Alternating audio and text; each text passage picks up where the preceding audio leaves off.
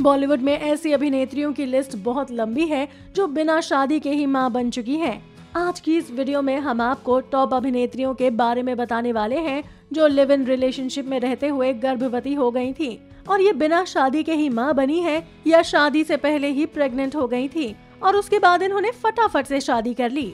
इनमें से कुछ के पार्टनर्स तो आज भी इनके साथ हैं, तो कुछ इनसे अलग हो चुके हैं। ट्विंकल खन्ना आपको बता दें कि ट्विंकल खन्ना भी अक्षय कुमार से शादी से पहले ही प्रेग्नेंट हो गई थी। अक्षय के साथ काफ़ी समय तक डेट करने के बाद ट्विंकल ने उनसे शादी की और आज दोनों बेहद खुश हैं। खबरों की माने तो ट्विंकल की माँ डिम्पल कपाडिया ने ट्विंकल को अक्षय कुमार के साथ कुछ टाइम तक लिव इन में रहने को कहा था कि तुम अक्षय के साथ रह कर देखो। अगर तुम्हें एक साल बाद अक्षय पसंद आता है तो फिर तुम उससे शादी करना। और इसी वजह से ही ट्विंकल शादी से पहले ही प्रेग्नेंट हो गई थी। Gabriella Demetriades actor Arjun Rampal की गर्लफ्रेंड और उनके बच्चे की माँ गैब्रियाला एक मॉडल है। अर्जुन रामपाल अपने इस रिलेशनशिप को लेकर काफ़ी सुर्खियों में थे।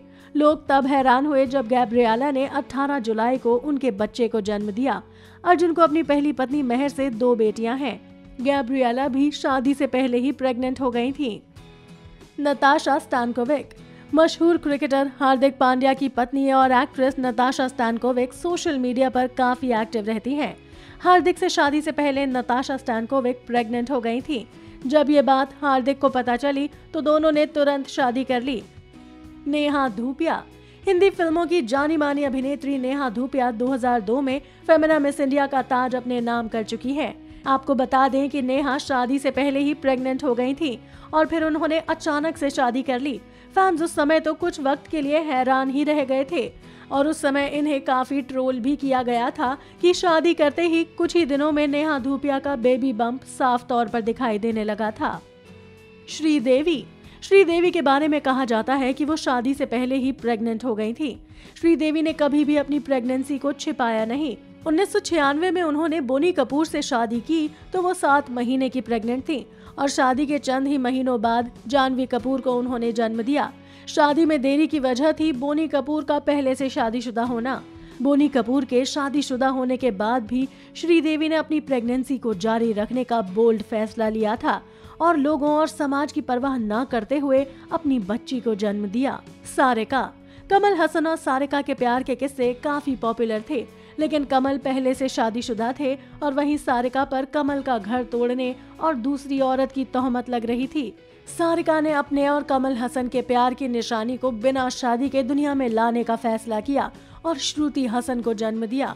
लेकिन इतना ही नहीं, सारिका और कमल हसन ने अपनी दूसरी बेटी के जन्म के बाद शादी की थी। लेकिन कमल और सारिका का रिश्ता भी बहुत ज़्यादा नहीं टिक पाया और वो टूट गया। और आज सारिका और कमल हसन का तलाक हो चुका है। कोनकना सेन माना जाता है कि कोनकना सेन भी शादी से पहले ही प्रेग्नेंट थी, क्योंकि उनकी शादी सितंबर 2010 में हुई थी और उन्होंने बेटे को जन्म मार्च 2011 में दिया।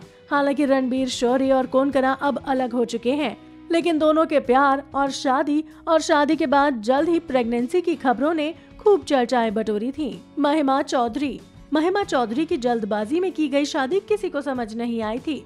लेकिन जब शादी के बाद जल्द ही उन्होंने बच्चे को जन्म दिया, तब सबको समझ आया कि महिमा चौधरी शादी से पहले ही प्रेग्नेंट थी और इसीलिए उन्होंने जल्दबाजी में बॉबी मुखर्जी से शादी की थी।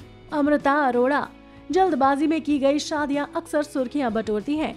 और ऐसी ही एक शादी थी मलाइका अरोड़ा की छोटी बहन अमृता अरोड़ा की।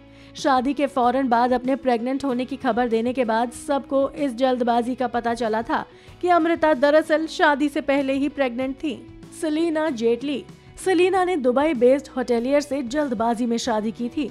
और शादी के तुरंत बाद उन्होंने अपने प्रेग्नेंट होने की खबर दी, क्योंकि वो शादी से पहले ही प्रेग्नेंट हो गई थी। तो दोस्तों, आपको बॉलीवुड इंडस्ट्री के इन स्टार्स के बारे में क्या कहना है, जो शादी से पहले ही प्रेग्नेंट हो गई थी?